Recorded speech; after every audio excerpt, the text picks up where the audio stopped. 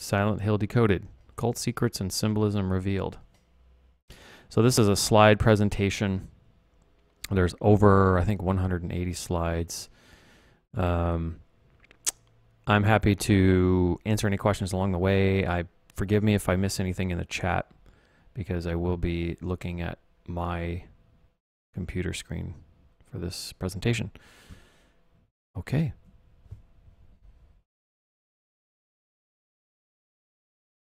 There we go. So here's the introduction. So, what is it about Silent Hill that has created such a cult following? We all know that this game keeps us coming back. All of the fans of Silent Hill just keep coming back to this game. So, why does it compel us to explore the darkest parts of ourselves? Obviously, this game is. And this game explores the deepest parts of the human psyche, right? I mean, this is something that's clearly a strong underlying theme in Silent Hill, and a lot of us, including myself, after after playing it, playing Silent Hill originally um, some years ago, I was left with this feeling like there's there's so much to this game, and I just don't understand it. So this that's what prompted me to uh, to embark on this journey. So this is the creator of the Silent Hill series. This is maybe you guys could help me with the name here. Keiichiro Toyama. And this is a quote in Polygon magazine about the game Silent Hill and he said he never really liked the bloody shockfest sort of horror. What I'm a fan of is occult stuff and UFO stories. So he was actually talking about Silent Hill and his influences. So he actually didn't set out to make a shockfest type of horror game. And actually, if you if you read that article, the, the links there, uh, if you read that article, he talks about how he, how surprised he was when people said it was a scary game because he never set out to make a typical horror uh, game, and it's so obvious to me now after doing all of this research just how profound a work uh, Silent Hill is. So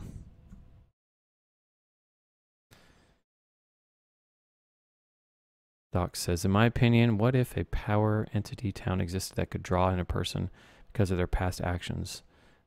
They are not dead but alive and can end up in a personal hell. This changes everything. Hmm, okay. Well, we're going to talk a little bit about the supernatural for sure. So, Silent Hill deeply explores the human psyche, like no other game has before or since. And the occult teachings contained in this game reveal some secrets, some very, very old secrets about our lives. So, what are these secrets? Some of them you may know. Uh, most of them I probably had no idea. I, I didn't know about in the game itself. And the game actually, Silent Hill prompted me to learn more about the occult. I thought I knew quite a lot until I studied Silent Hill. There are, um, there's a lot of components to this. So we'll touch on the Silent Hill canon, but we're also going to, we're going to look at all the symbols in the game. We're going to all the characters, the ceremonies involved, what they mean, all of the artifacts. I mean, every little, we're going to analyze everything in the game. And it's going to, yeah, this is this is so good, you guys. I mean, I'm I'm really excited to be able to to do this presentation for you. So we're going to need to learn about the occult in order to really properly understand what's going on in Silent Hill and what the creator of this game because he was obviously the creator of this game was definitely a an occult a student of the occult and the ancient esoteric mystery traditions. So let's talk about what the occult is and what it isn't. So the occult is a neutral body of knowledge and understanding, and it contains powerful insights into the human psyche and the world we inhabit. Much of occult knowledge is deeply spiritual and psychological. It's not religious, yet all religions use it. So an adept occult student will understand themselves deeply and will know others better than they know themselves. So, what exactly is the occult? What are we talking about here? Is this just like Satan worship? Well, absolutely not. So, the word occult, first, of course, to know anything, we need to know what the word means, right? So, the word occult is actually comes from Latin and it means hidden from sight. You could think of it as the spiritual dimension or the the inner world, right? We have the inner world and the outer world. You have the world that you can we can sense with our five senses, and then we have the inner world. So that's kind of what occult means, right? It doesn't mean Satan or the devil or whatever the church is trying to tell you. It doesn't mean any of that stuff. So if you look at this iceberg here, the part of the iceberg above the water, right, represents like the physical realm per se, and everything happening on the surface. So what we can see, what we yes, Satan. Thank you. So what we can see, what we can hear, what we can smell, touch, etc., etc. And the iceberg underneath the water is the hidden world. That's the that's the unconscious world. It's the spiritual dimension.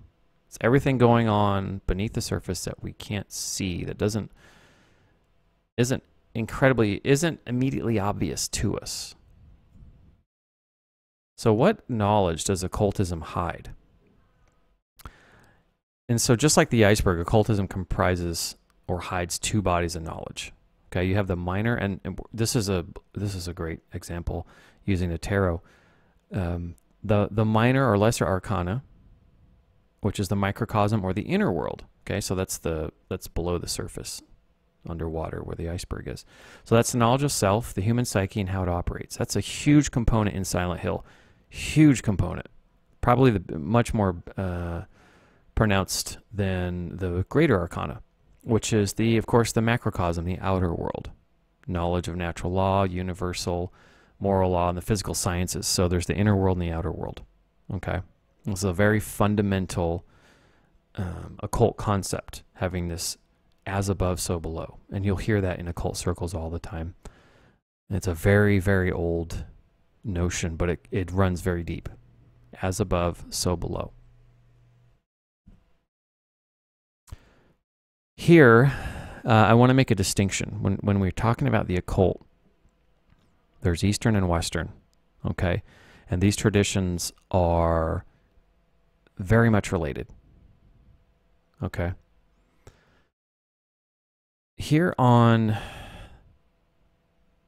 I guess it would be the right side of the screen, Yes. This is kind of, these are some Western images here. And I want to talk about this painting. I think this was painted by Raphael.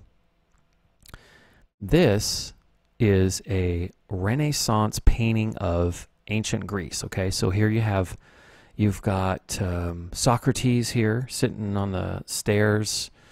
Uh, you've got Aristotle, and you've got um, Pythagoras. So these guys, see these guys in the in the lower right corner.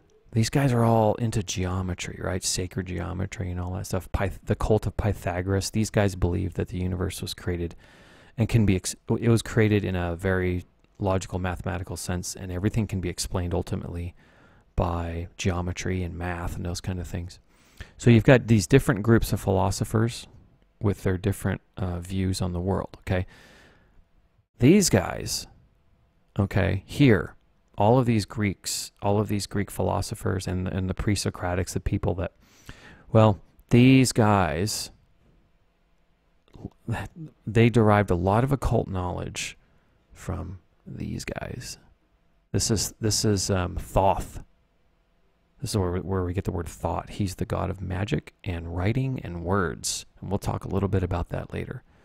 There's definitely a connection here.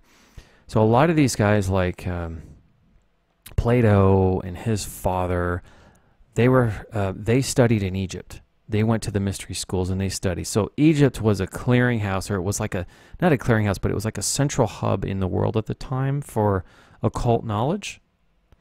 Um, you probably heard the story of the Library of Alexandria, right? This library was uh, it's now lost. Of course, it it it, it burned down um, but a lot of that knowledge before before the library was lost, the um, so the Greeks actually learned quite a bit from the Egyptians, and the Egyptians, so people traveling from mystics traveling from the Far East, from India, from China, would would share, would bring things to, and take things from the the Library of, of Alexandria, and, and so you'd had all of these mystery traditions kind of putting together a library in in Egypt, and that library, that knowledge, is what started this. Um, you know, we hear about this almost an explosion of philosophy in Greece, right? And all of these guys, Plato, Socrates, um, Pythagoras, there's every every key philosopher. I can't name them all, obviously, but every key philo- philosopher in here in ancient Greece, the who's who of all of the philosophers are here.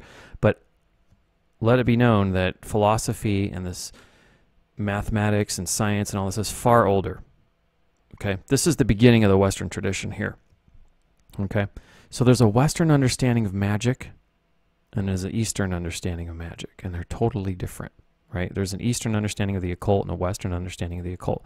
What I'm getting at is through Silent Hill, there's a lot of references to the occult, to magic, to alchemy, um, all sorts of really cool stuff, and we'll explore that in detail. But I want to make this very clear for you guys because magic is understood in our in our culture through the Western sense. Okay, so this Renaissance painting and this and of the the philosophers here and this Renaissance painting in the lower right. This is a this is a woman. Um, obviously, she's a witch. She's performing some sort of ceremony. Okay. The Western understanding or the Renaissance, you know, European understanding of the 1500s, 1600s, 1700s, that era, where you had these grimoires come out, like the Picatrix and all of these kind of magic books. Well, this, the Renaissance period was a reimagining of the ancient traditions from the East, from Egypt, from India, from China, from Tibet, from everywhere, right? The ancient occult traditions. So we're relatively new at this. So all of the magic stuff that you are accustomed to seeing in movies, or if you if you've read any grimoires, and the the, the thing about you know casting spells and and uh, drawing a circle on the floor with a sigil and you know and, and, and invoking um, doing evocation evocations and bringing you know demons to your service and stuff. That's a western reimagining of the original understanding of magic and the occult which com- comes to us from Egypt from Persia from India okay? So it's much much older. So we're so what I what I'm doing with this presentation is we're going to the roots. We're not just going through the Western reinterpretation, because that's what Renaissance means. Renaissance means to to know again, right?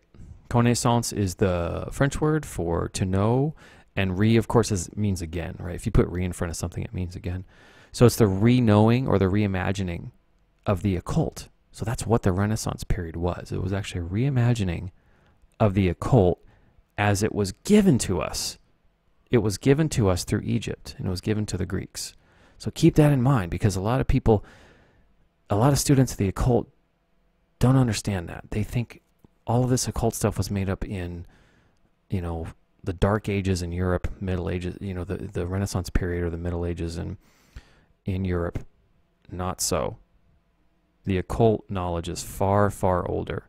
It's even older than the Egyptians. The Egyptians didn't invent it. The, I doubt that the the Hindus invented it, right? It's far older. We can't even go back as far. But just keep that in mind, okay? Because that's something that's going to be um, really important to understand. If you really, really, really want to understand Silent Hill and the occult, then we have to see it through totally fresh eyes. So here's the tree. This might be, some people call this the tree of life. That's more of a Kabbalah reference. The uh, Jewish Jewish mystic uh, mystery science. But anyway, so the tree of life demonstrates, just like the tarot has the microcosm and the macrocosm. Okay, the tree of life is demonstrating for us the most foundational maxim of occult wisdom, and of course that's the microcosm or the lesser arcana. of the tarot, reflecting the macrocosm, the major arcana. Okay? So the two are really one and the same. So we will see this theme repeated in the game over and over. This is something you can observe inside and in the world around you. So reflect on this teaching, and I want you to prove it to yourself. It takes a while to get your head around it. Doesn't the Eastern magic, so I got a question here from Chris. Doesn't the Eastern magic be seen as like healing and stuff rather than some beliefs of magic being evil? Well, that's a good question. We're talking about, we're going to talk about that right now, actually. So the occult's a double edged blade, just like everything in the world. So, as with most things, occult knowledge is brought into the world for the betterment of mankind. And when I, and when, again, when we say occult, we're talking about mostly about the unseen or the spiritual dimension, right? Because everything in our world is actually comes from something that's unseen and then it manifests, right? So really everything fundamentally could you could say it's occult. And again, occult just means unseen, right? Or hidden. So that's the way that I'm going to relay that um, that that uh, the word occult. That's what it means to me. It's what it means uh, objectively as well, not just to me. So this is when you're using the occult knowledge for betterment. This is called light occultism or magic, from the word magi in Old Persian, which means learned or priest class. So the magi in ancient Persia were the only people that could write. They wrote on stone tablets back then. And so when you wrote on a stone tablet, it was called casting a spell. so you spell a word, and that's where we get of course, the word magistrate um, comes from magi. Magistrate is uh, the magistrates were the ones that were the in ancient times they were the rulers. They were typically you know priests or they were the priest class, and they would cast judgments or spells, and they would cast them in stone. If you could spell, you were a magistrate. You were practicing magic, like literally practicing magic in those times, because no one could spell. So if you spelled something onto, if you cast a spell, that was the law. And if you went against that, then if you broke the spell, right, you'd be in trouble. So when used with intentions of control and enslavement, the knowledge, occult knowledge is known as dark occultism or sorcery. So let's make that distinction. Magic would be for, for the betterment, okay, as you have uh, Gandalf the Grey here. And the um, if you're using occultism to control people and not share it, you're you're keeping it to yourself. That's sorcery. Okay. And sorcery comes from the word sortiarius, one who influences fate or fortune. So you're trying to control or influence people's fate, right? In the, you know, these guys are actually in Lord of the Rings. These guys are actually the same. They were both good, right?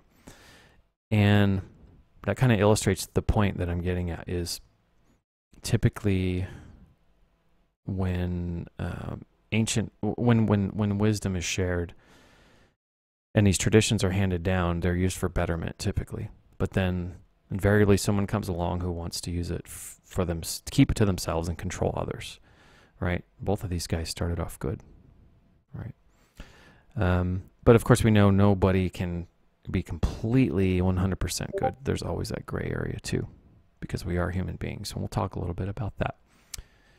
So, double edged blade. So, yes, Chris.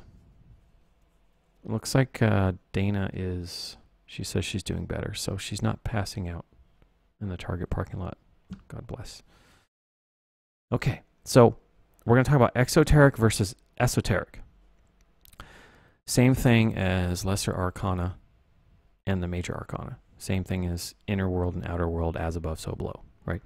The exoteric, and here's a chart of kind of the world's religions, you could say, buried underneath. So, so buried underneath the surface of every religion, we have the esoteric or the source, right? So here in the middle, this is these are the occult teachings. These are the insights that are that have been handed down for a thousand, tens of thousands of years, right? The human experience is the same around the world. We're we're born, we come into this world we we we think about, you know, we're the only creatures that can think about our that one day we're going to die, and we wonder where are we from, where are we going, why are we here? We have all these questions that are unanswered. Um, religion on the exoteric level, the you know outward public facing level, will will put a good face on things. But if you're halfway paying attention, you really know that nobody has all the answers, and nobody really does. Even if there were a creator to, you know, even if Jesus were to come down tomorrow or whoever, right? Still, there would be so many unanswered questions, even if that were true, right? But there's some there's some very deep teachings uh, at play underneath all of these kind of public facing esoteric. So, like the Catholic Church has pulled a lot of their teachings or a lot of their philosophy and a lot of their religious doctrine from other places. And we'll see that later. Like, for example, the Trinity actually, there's a concept of the Trinity around the world. It's expressed in Egypt, it's, it's expressed in Hinduism, and we'll talk about that. So there's this common pool of knowledge, and it comes out in different ways, right? Um, and that's something that we're going to explore a little bit later. But that's something actually in Silent Hill. That's how deep this game is, you guys. It's kind of crazy. That's how deep this game goes. So I need to prepare you. So if you think, well, what, where's Silent Hill? Trust me, this is going to prepare you to understand what's going on in this game. So here are the aspects of the occult that we're going to explore in Silent Hill and that are clearly demonstrated. This isn't a matter of me just kind of extrapolating, like making connections that are kind of flimsy, right? Because you can you can tell if you'll be able to tell if I'm making some connections that you're like, come on, dude, you'll be able to tell. And you can more than happy if you call me out on that and I'll explain if you have any questions. There were a few times where some of my assumptions, I, in my research, I, um, I made some assumptions and then I found out that I was wrong. So I've totally, you know, I had to scrap that and I had to dig deeper until I could find real substantial connections that made sense, right? Because this isn't about like just, oh, this is just my wacky theory. Well, this is my understanding of the occult and how it relates to Silent Hill. So Silent Hill has a huge element of psychology. We all know this, right? We've all felt this. Your unconscious knows this. Your conscious mind may not understand all of the things going on in Silent Hill, but that's where your unconscious is signaling to you and telling you, hey, there's a lot more. And we can pick up on that, right? We can pick up on that sense. So we, myself included, I didn't know a lot about this game when I got into it. And after I finished it, I was like, whoa, this game's really deep. I need to come back here and, and learn about this game. So there's a lot of human nature, human behavior explored in Silent Hill. There's, of course, there's the order. So there's some religious um, overtones in the game. Lots of symbolism in this game. Um, there's some alchemy, and, and we're going to go really deep into alchemy. And I'll show you in the game where all of this alchemy uh, is, and you'll be like, "Oh my God, how did I totally? I should have known that." um, if you're into alchemy anyway, or, or any of this stuff. And of course, archetypes and allegory. So we're gonna get in, we're gonna be exploring some of the classic tales that are told over and over and over again, and they're told for a deep, a deeply human reason, like slaying the dragon, the hero's journey, things like that. So you may know who this guy is. This is Carl Jung. He is the godfather of modern psychology. He's a his um, he attributed his insights on human understanding and behavior to his study of the occult. He even wrote the book Psychology and the Occult. If you take a psychology class in college, you will learn a, you'll learn quite a bit about Carl Jung. So no subject is is widely misunderstood yet is important to human understanding as occult study. I'm going to take my camera down for a second so you can see this quote. Synchronicity is an ever-present reality for those who have eyes to see if anyone was an occultist, it definitely was Carl Jung. We're going to talk about symbolism a lot, and we need to think about symbolism in so we live in a literal society, right? Our, our so-called modern society is very uh, literal. We use words, and we use, you know, words specific, specifically will have one meaning, maybe two. Symbols obviously will have layers of meaning upon meaning upon meaning, depending on the context. The ancients didn't think literally; they thought symbolically. They thought holistically. They saw. They would look for how things were all connected and we've kind of we've lost that. We live in a so-called modern age, but um, there's a cost to living in a literal society, right? It's why there's so many different religions, by the way. It's because everyone is interpreting uh, the Bible in in their own way, right? But the Bible isn't written literally like a modern you know, inform. It's not written written like an informational document, right? That's like literal. Take it at face value, word for word. It's steeped in metaphor, symbolism, symbolic thinking, all that stuff. Okay. So symbols really are an introduction to wordless thought. And this is how the ancients thought. So if we're going to understand Silent Hill and we're going to understand the occult and how it relates to it, we have to under, we have to get our heads around what wordless thought is. Okay? So each symbol has its inherent meaning, but it's a general meaning, and it acquires a specific or limited significance only through association and use. So there'll be lots of symbols throughout the game, and how they're used in Silent Hill is going to tell us everything. Okay? And I, I've paid very close attention to that. So I won't just show you a symbol and say, here's what it means, but we're going to see these symbols in, in action, and we're going to see the significance of them. So it's sometimes said that a symbol has many interpretations, but this is because we're accustomed to looking at everything from our word-bound mentality, the, the literal sense, right? They symbols can have many meanings, but they also have universal applications. They do have applications overall for they can they can say one overarching thing in all contexts as well. And that's something that we're going to have to pay attention to. And we'll see that throughout the game. And by the way, don't take anything I'm saying at face value or don't believe. I don't want you to believe anything I'm saying. I want you to prove this to yourself. That's really important to do that. Excited to prove it to myself. Okay, so welcome to Silent Hill, part one. Let me know if you have any questions about any of those very basic occult concepts that we covered. We're going to get into alchemy. We're going to get into uh, the masculine, feminine energies. We're going to get into the um, Kabbalah, Kabbalah a little bit. We're gonna we're gonna get into some crazy stuff, and it's all in Silent Hill, which is pretty amazing. Alchemy. Let's turn lead into gold. We will. Yeah, we're gonna cover that. We're gonna talk about the exoteric alchemy and the esoteric alchemy, two totally different ways to look at it. So. I'm just reading the uh, comments here. Okay. So, we all know the story of Silent Hill. Uh, Harry Mason's daughter, Cheryl, adopted daughter, is um, begging her her adopted father, Harry, to take take him to a relaxing to to go on a relaxing vacation to the resort town of Silent Hill. And eventually Harry Mason agrees. Due to car troubles, Harry and Cheryl arrive in the outskirts of Silent Hill at night, following the winding mountainside road. While driving on the outskirts of town, Harry sees a girl, an astral projection of Alessa Gillespie, walking across the road. Harry swerves his car to avoid hitting the figure in the road and is knocked unconscious by the resulting car crash.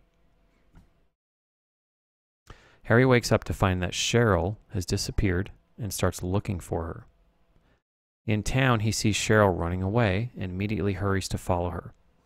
Chasing her through the streets of Silent Hill, he finds himself running down a dark alley. The sky suddenly turns dark, a siren blares in the distance, and when Harry lights the area with a lighter, he finds that his entire environment has changed into the other world. Moments later, he is attacked by small, childlike monsters Despite his best efforts, Harry is eventually overwhelmed and killed. And if you're wondering, the other world definitely is the unconscious. And we'll go deep into that. And it's incredibly